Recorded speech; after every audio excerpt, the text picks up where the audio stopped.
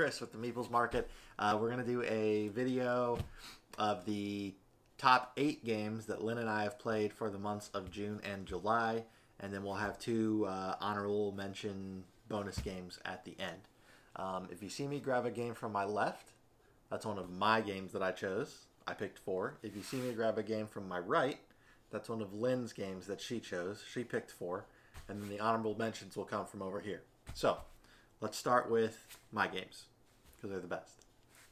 Uh, game number one. Inis. Where to start? I've played this with a few different people, and they seem to either love it or hate it. I love it. First, I love the art. Phenomenal. I love the the fact that you only play with that same I don't know if it's like 13 cards or I don't know how many it is, but you have that set amount of cards and those are the only cards you play with for the main actions of the game. Obviously there's the the red cards that have other stuff on them, but the the main guts of the game comes from these cards that you're drafting every round and it just turns into a like once you know the cards it's like oh i know i need to do this but i also need to do this she's probably going to want to do this do i take this card and try to make the bet? It's so good. It's beautiful. It's lovely. You want to fight but you don't want to fight. Um, it's fun. I love it. Inis uh, plays great i think at two players. I know some people say it doesn't play good at two. I think it does play great at two. It also does play great at three and four. Uh, number one for me, Inis. All right, and first game from Lynn's list, we have uh, Beyond the Sun. Uh, if it wasn't on Lynn's list, it would probably be on my list too. Uh, this is a new game for us. I'm not a big fan of space games. I just not I don't like that theme typically, but uh, Lynn does, so we had to have this, and I'm glad we got it. Um, it's like a, a, a tech tree game which I've, I've never played a board game that's a tech tree game. I've played like video games and such that have tech trees, and you get this, and it unlocks like a branching path, and you're going through the, the different stuff, and each thing gives you a bonus, but you need all the prerequisites. That's basically it, and then there's some like space exploration and combat thrown in there too. Um, it it has like a bit of a learning curve, and that's the thing. Like when our first play, it, I, I didn't like love it immediately, but by the end of it, I was like, oh, this thing's really fun. I want to play again. Uh, so, uh, Beyond the Sun. All right. Next game from my list is Dice Miner. Uh, so this, this is a good game. That's what I can tell you. Uh, initially, I was iffy on buying this because I usually like a little bit heavier games that are more involved. And after looking at the gameplay of this, uh, like on the Kickstarter page, it has the whatever. They have like one of those little animated things, and it's like the game. Throw the dice on the mountain. Pick your dice off the mountain. Score. And I was like, sweet. That sounds like a blast. I need that on my table. Uh, but it's a cheap game and it's new, so we got to try it. And dude, it's it's fun. It's so fun that I already own it, but I'm trying to get the collector's edition, deluxe edition of it because it has upgraded components, better dice that look cooler and stuff. Um, you could, at this point in my life, you could say pretty much at any time, "Hey, Chris, do you want to play Dice Miner?" And I'll say yes. Uh, super fun. We played it at two players and we played it at four players. It plays differently at two and four. Um, I think it's more fun with two players. Um, it's still fun with four. There's just a little bit more that can go wrong with your plans. So, uh, Dice Miner, if you haven't checked this out, I highly recommend it. Great filler game. All right, next game on Lynn's list is Whistle Mountain. Um, I'm less excited about Whistle Mountain than Lynn is, but I still had fun playing it. Uh, we played Whistle Mountain and we played uh, Whistle Stop like back to back. I thought Whistle Stop was a little bit more fun, but Whistle Mountain is cool too.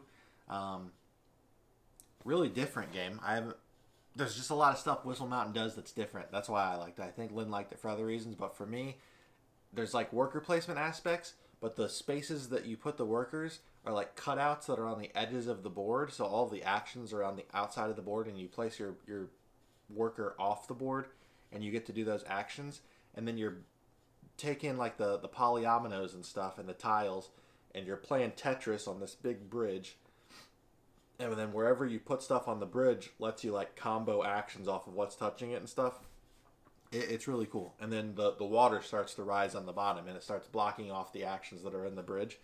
Uh, so if you haven't played Whistle Mountain, uh, it's pretty sweet. I'm looking forward to playing it again.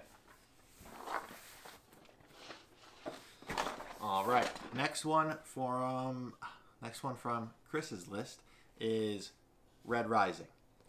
Um, this is the collector's edition, so there's a, a couple of different upgrades in it over the retail one, but uh, I love this game.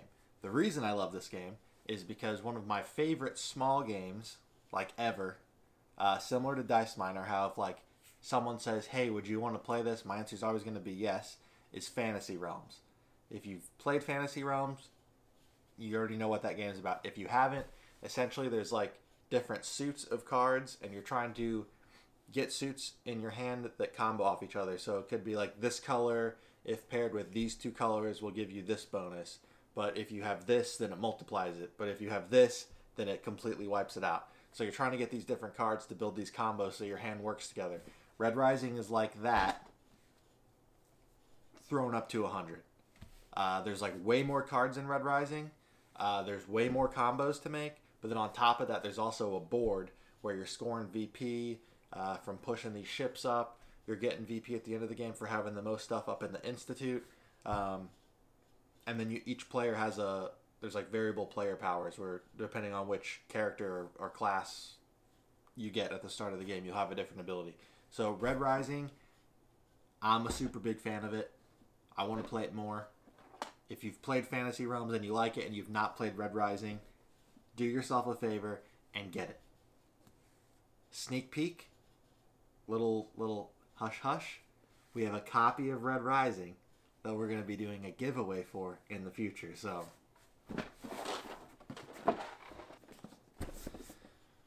Next game from Lynn is Roll for the Galaxy.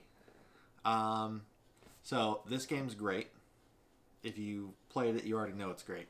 Um, I've never played Race for the Galaxy. This is the version of it with dice, and there's some changes. But uh, I owned this game in the past, and my play group wasn't into it at that time of my life, so I sold it off. And then I met Lynn, she was interested. She likes space games, like I told you. So I bought it again. I love this game. There's dice. There's a million dice. They're tiny. They're all different colors. You get cups. You're rolling the dice, and then you're doing the the action selection. Like you're you're you're bidding on the. It's just it's a wild game. I love this. I think I would call this a classic for me. Um, if you like Race for the Galaxy, I think this one would be more fun. I like I said, I haven't played it, but this has dice in it, so that's that's automatically fun.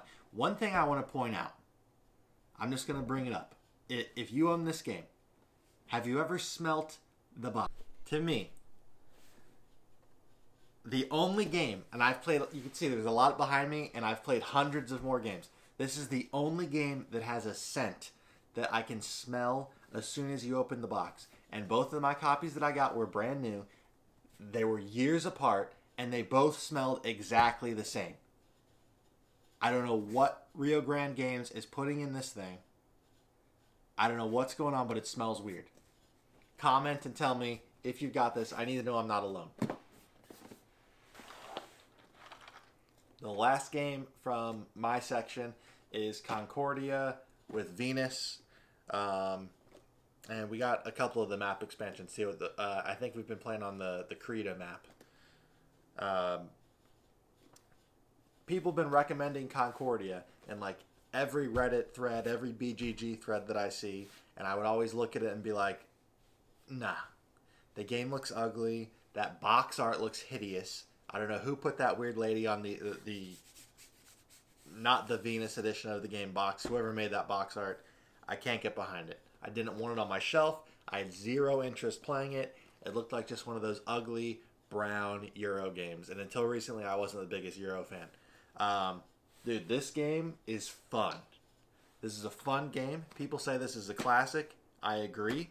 I want to play it more. I liked it more than Lynn liked it, but it's fun. Um, if you've not played Concordia, and I've only played it at two players, Um, I've heard people say that it's better at more than two players, but th- this is a good game. You should get it if you have not.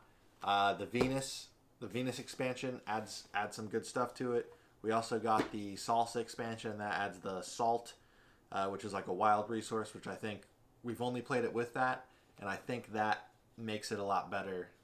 Like not imagining not playing the game with that salt resource, I feel like it would be a lot less fun um, and a lot more restricted. So Concordia, Venus with Salsa, with with Creta, pick it up.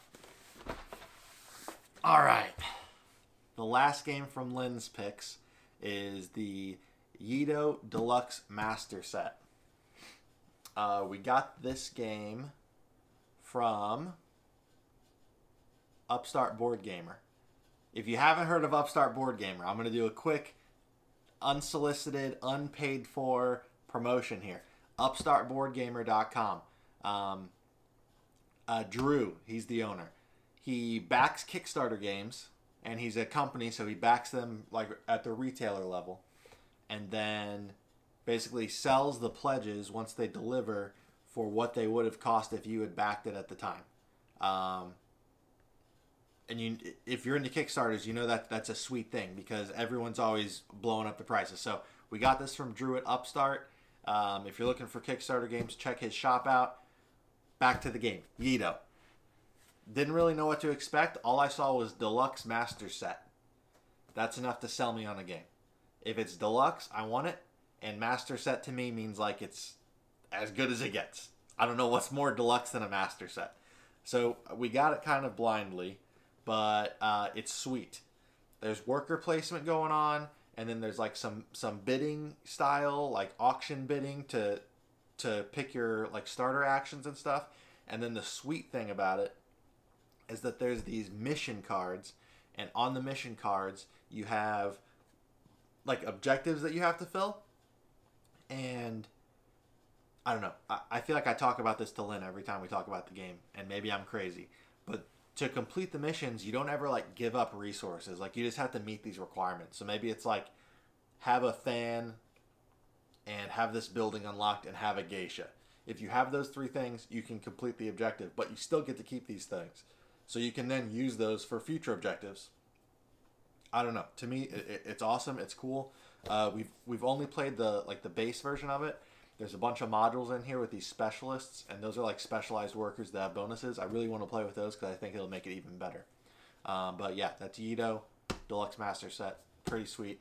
I think there's still some copies left on Drew's website, so if you are interested and uh, you want to try it out, I'd pick this up. This is this is really fun. All right, we're here with the last two. These are the honorable mentions.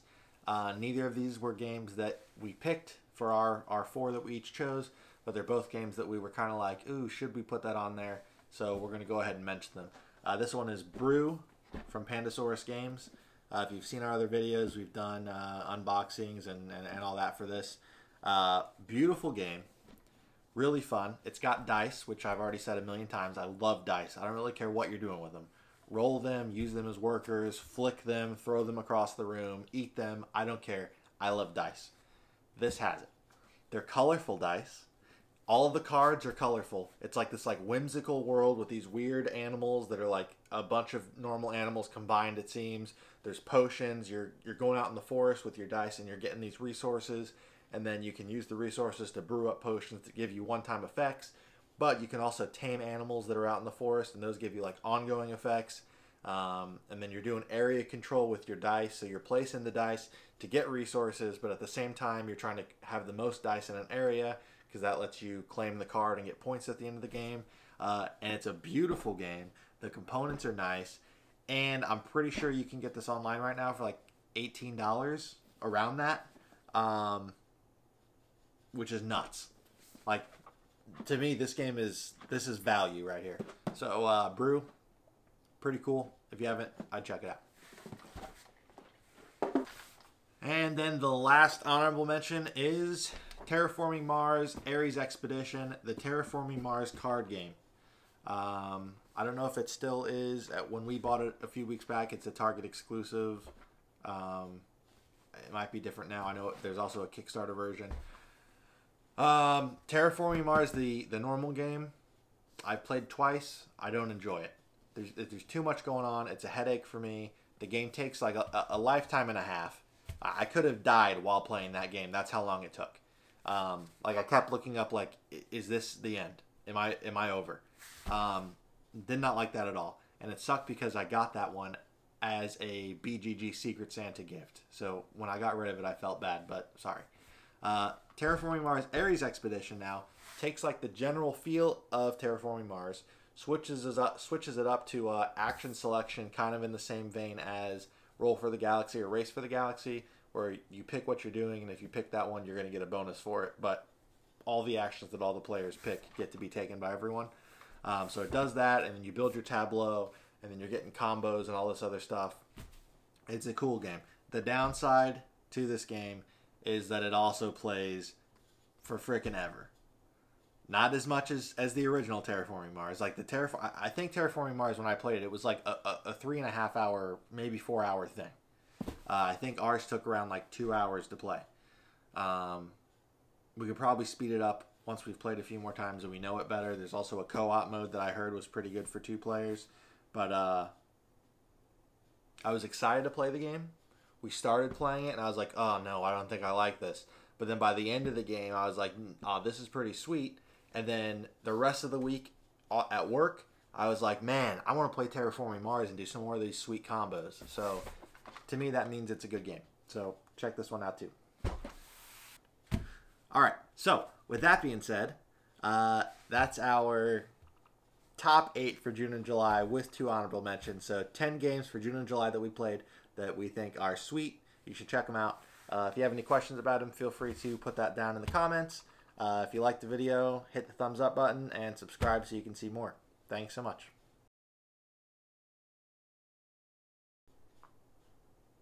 Hey. No, no. Redo. All right.